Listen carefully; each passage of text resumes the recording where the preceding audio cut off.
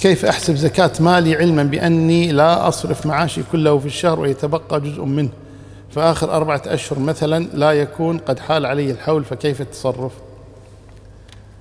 هي عندك حالتان. الحالة الأولى أن تحسب كل شهر. كل ما يدخل عليك شيء من المال طبعا بعد أن يبلغ المال النصاب.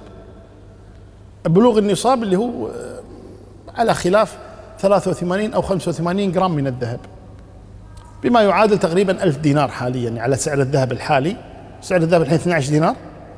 الجرام. من اللي عنده خبرة؟ وين التجار؟ ها؟ الحين 10 دنانير ونص؟ زين نازل الذهب. زين نازل. آه آه 24 آه 24 ها 21 لا نبي 24 شلون شلون؟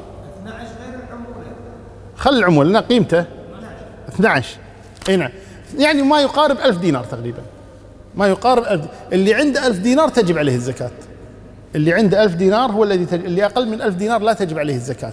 المهم ما يعادل 83 أو 85 جرام من الذهب.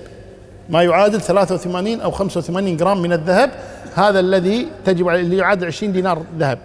هذا هذا الذي تجب عليه الزكاة. إذا هذا الألف دينار دار عليه حول كامل ما نزل عن الألف هذا تجب عليه قاعد يزيد إذا يزيد مثلا كل شهر يحط 200 300 400 حسب اللي يضعه فوق هذا المال. معناته كل شهر يحسب زكاة هذا الشهر. كل كل شهر يطلع زكاته الحال. أو وهذا متعب حقيقة جدا وقد لا ينتبه له بعض الناس. أو أن يجعل له شهرا بالسنة يخرج زكاة ماله. مثل الحين كثير من الناس مثلا يخرجون في رمضان؟ مثلا شهر هجري. في رمضان في ذي الحجة في محرم كيفك؟ المهم تحدد لك وقتا من شهر هجري لأن السنة الهجرية أقل من الميلادية ب 12 يوم تقريبا كل سنة. فأنت إذا طلعت على الشهر الميلادي معناته كل سنة قاعد تأخر 12 يوم زكاتك. وهذا لا يجوز. فالقصد تحدد لك شهر هجري أو كل سنة ميلادية وتنقص 12 يوم كل سنة. فالشاهد من هذا تحسب كل سنة مثلا في أول يوم في رمضان كم عندك في في حسابك وتخرج الموجود. 2.5% على الموجود وانتهى الأمر. هذا أريح لك. بغض النظر شيء دخل قبل شهرين شيء دخل قبل ثلاث شهور شيء دخل قبل تسع شهور شيء حال عليه حول شيء ما حال عليه حول راح تتعب في هذا. لكن إذا كنت تريد هذا ما في خاصة بعض الناس اللي يقول لك والله أنا قبل شهرين دخل بحسابي عشرين ألف. هذه ما حال عليها. انتظر ما في مشكلة.